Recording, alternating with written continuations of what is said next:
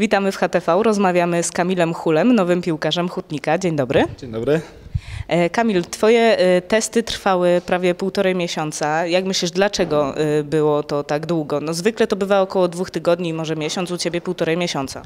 E, tak, ja wracam po kontuzji i od razu, gdy wyleczyłem tą kontuzję, przyszedłem na testy do hutnika e, i dlatego trener dał mi tyle czasu na testy. A powiedz, te treningi kosztowały cię więcej niż gra w lotniku? Były bardziej męczące? Znaczy, żeby załapać się do hutnika, musiałem dwa razy więcej się przyłożyć na treningach. No i tyle. A jakie są e, twoje e, dalsze plany? Jak długo chciałbyś grać w Hutniku? E, W hutniku bym chciał grać jak najdłużej, bo widzę, że są bardzo interesujące treningi.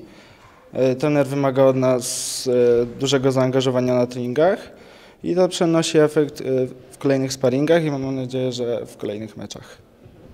A jak oceniasz pozostałych zawodników, z którymi trenujesz? E, Są twoim zdaniem groźnymi rywalami w walce o, o miejsce w pierwszym składzie?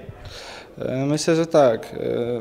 Zawodnicy Chudnika prezentują bardzo wysoki poziom, ale myślę, że jeżeli dojdę do pełni formy, to będę równorzędnym zawodnikiem, żeby konkurować z nimi na każdej pozycji.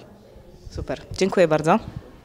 A Kamil wraca po, e, po dosyć e, długiej kontuzji i mam nadzieję, że, że nasz, nasz zespół będzie e, dobrym miejscem na jego odbudowę i również nas wzmocni i tak naprawdę po jakimś czasie, kiedy już wróci do swojej optymalnej dyspozycji, a już myślę, że jest blisko tego pułapu, to, to tak naprawdę będzie ciekawym zawodnikiem, który nam pomoże.